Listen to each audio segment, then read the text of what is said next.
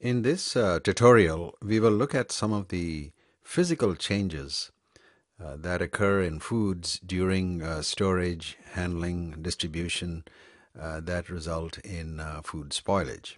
There is a considerable mechanical damage that can occur uh, during handling of foods that can lead to consumer unacceptability as well as further deterioration of the product.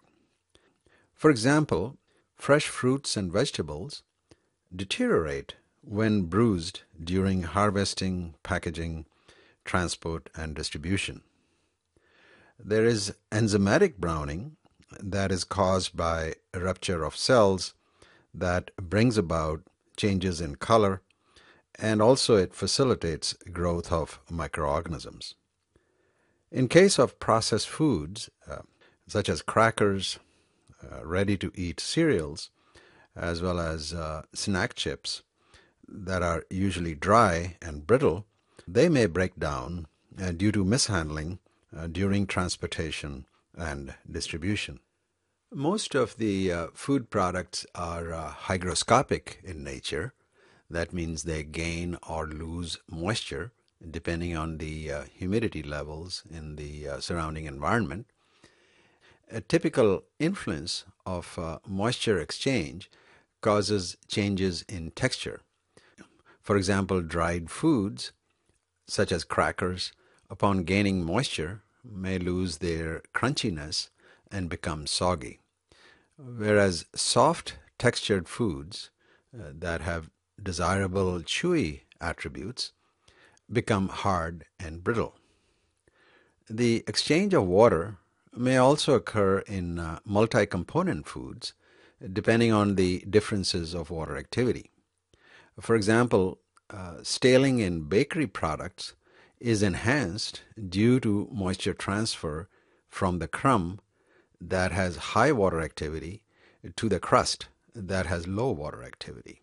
The uh, role of glass transition temperature, uh, that is a temperature where the product changes from glassy to a rubbery state, and its impact on the moisture mobility uh, within the food product uh, has also been extensively studied uh, during the past uh, couple of decades. A common temperature influence defect in food powders is the caking phenomena.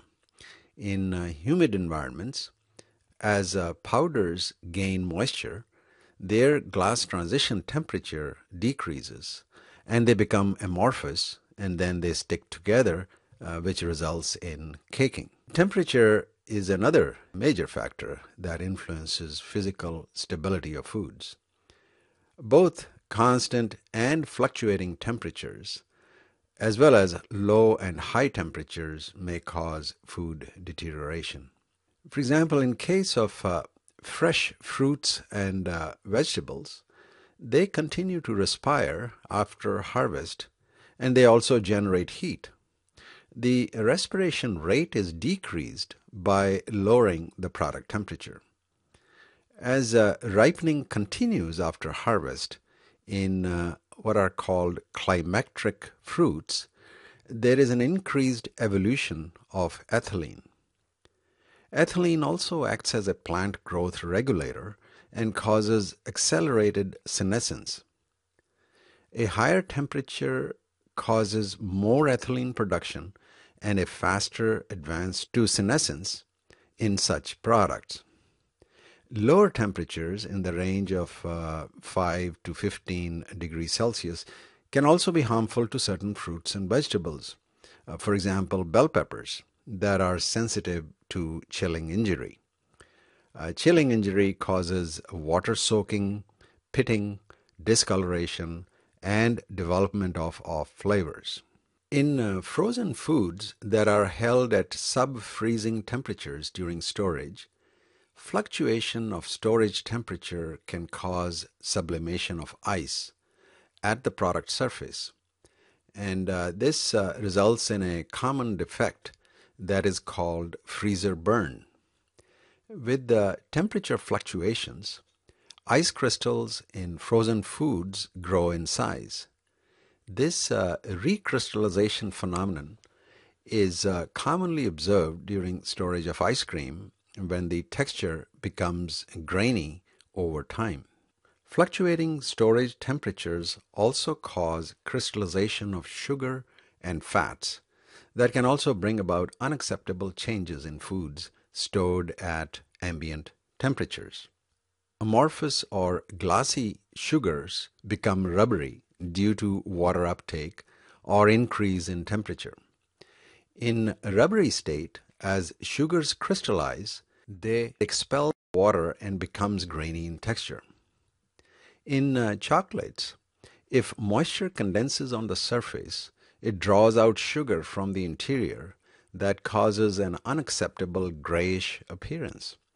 Also, fat migration and recrystallization of cocoa fat in uh, chocolates also cause white discoloration that is commonly called fat bloom. Fat crystallinity in chocolate occurs due to fluctuations in temperature. So the key here is that fluctuating temperatures during storage can cause quite a bit of damage to selected quality attributes of foods.